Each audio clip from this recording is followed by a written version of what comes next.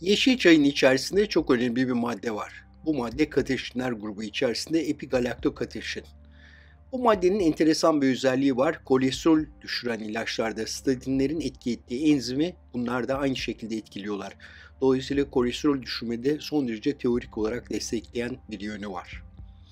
Epigalaktokateşin sadece onda değil aynı zamanda otofajiyi de desteklemesi açısından araştırılıyor.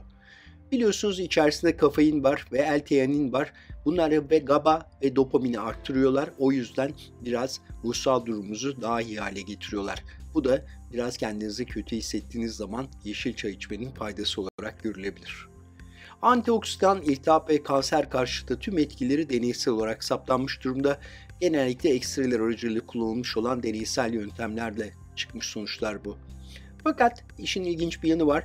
Tip 2 şeker hastalığını önlemede %17-42 oranında bir başarısı olduğu konuşuluyor küçük çalışmalarda.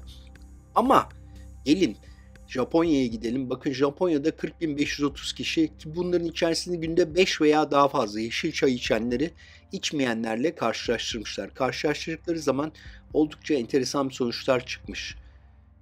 Bunlardan bir tanesi ölümler kadınlarda %23, erkeklerde ise %12 oranında azalmış. Kalp hastalığına bağlı olan ölüm riskinde de benzer şekilde düşüşler görülmüş. Kadınlarda %31 görülen bu risk, erkeklerde ise %22 oranında görülmüş.